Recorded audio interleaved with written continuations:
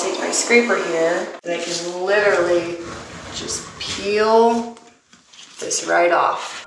Hi, I'm Danielle, and today I'm going to show you tips and tricks to removing wallpaper.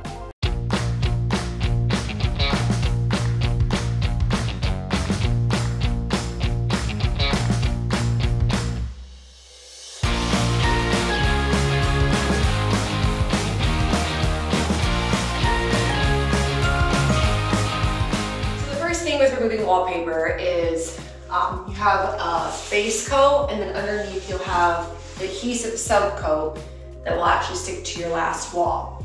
When you're removing wallpaper, this little guy comes in handy. I will link the link below in Amazon.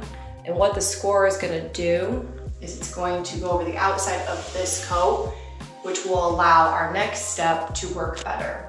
Um, I use this steamer it comes with about five to six attachments. This heats up. It can burn you, so be careful. And then my third thing that I use to remove wallpaper is just a standardized scraper. First thing you'll do is you'll use the score on these walls. When you do this, apply light pressure. If you press too hard, it's gonna damage the wall underneath and then you'll have to go through and do a skim coat. Um, I'm gonna use my steamer. So it does drip a little bit when you turn it on. So if you have a floor that you don't want to get messy, put down something. Um, in this case for us, it doesn't matter, we're gonna refinish these floors anyways. So when I'm prepping wallpaper, I'm gonna start with any areas like this that I can actually remove first. And I'm gonna peel back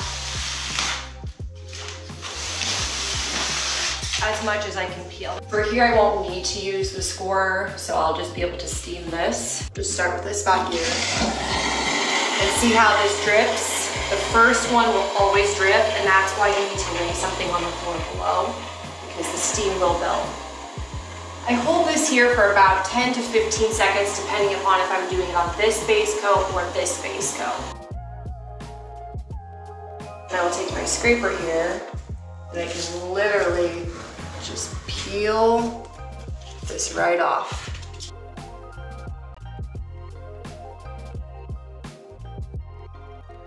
I'm gonna show you what it's like to remove it from this wall here, and I'm gonna use the score. When you score this, what it's actually doing is allowing the steam to come through the adhesive so that way it's easier for you to scrape off. You can see how it's still pretty difficult, but if you can find an area where you can actually remove this, see how this layer is actually coming off easily, then you can start just peeling and that's when you get to that sub layer. And you can actually see right here where I made my perforations or my scoring, how it actually got underneath this to get this off. So it makes it a lot easier if you can pull the top coat off. Yeah, if you can pull this coat off, that's great. It just gives you kind of a good base. And at this point, like I said, you don't need to score from here.